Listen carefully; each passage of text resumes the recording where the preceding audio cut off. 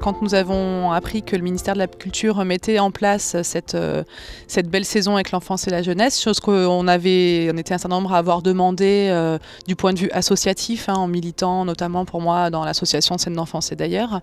Euh, donc on est un certain nombre à avoir réuni les acteurs rhône-alpins pour réfléchir ensemble aux actions que nous aimerions porter ensemble à l'occasion de cette belle saison. Il y a eu des grandes réunions avec tous les acteurs, d'autres plus resserrées aussi, pour un groupe de travail plus resserré comité de pilotage. Et donc ça fait deux ans que nous nous retrouvons régulièrement euh, pour, euh, pour envisager euh, cette question de la rencontre des arts, de, des enfants, des adolescents avec les arts vivants et avec le spectacle vivant. Donc ça ouvre évidemment nos territoires. Ça fait un moment que les collègues auvergnats venaient à des réunions de Rhône-Alpin et puis qu'on était un certain nombre à se rendre aussi sur les grands rendez-vous de la profession là-bas, notamment sur le festival Puy de Môme. Donc il va s'agir bah, d'ouvrir ces échelles-là et de, partager nos projets avec euh, effectivement des façons de travailler qui sont différentes liées au format de nos territoires. La question du jeune public, elle est très présente, surtout dans ce secteur euh, rural dans lequel je, travaille. Et euh, les problématiques qu'on a, c'est effectivement des problématiques de déplacement, de programmation, de scolaire, comment toucher les adolescents, etc. Donc c'est vrai qu'une journée comme celle-ci peut permettre d'apporter des éléments de réponse, en tout cas au moins des éléments de réflexion.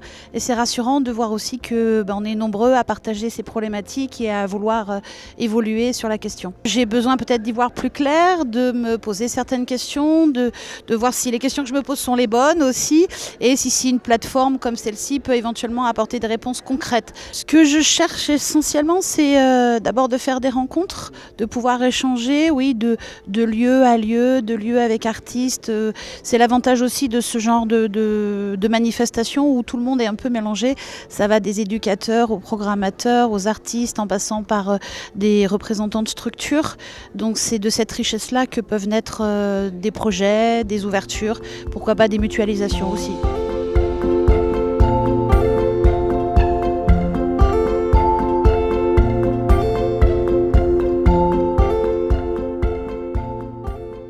Le biais de l'environnement numérique, on a des accès qui sont plutôt fragmentés dans le sens où c'est pas l'œuvre entière, c'est pas un livre entier qu'on lit euh, en même temps.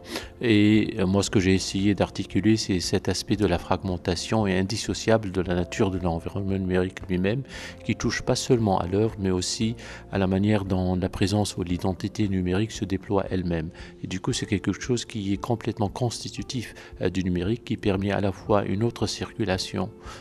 de l'information, de l'œuvre, de données et de soi-même.